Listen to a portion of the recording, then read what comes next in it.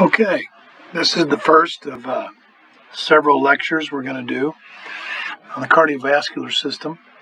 uh, we're going to start out by doing the anatomy. And uh,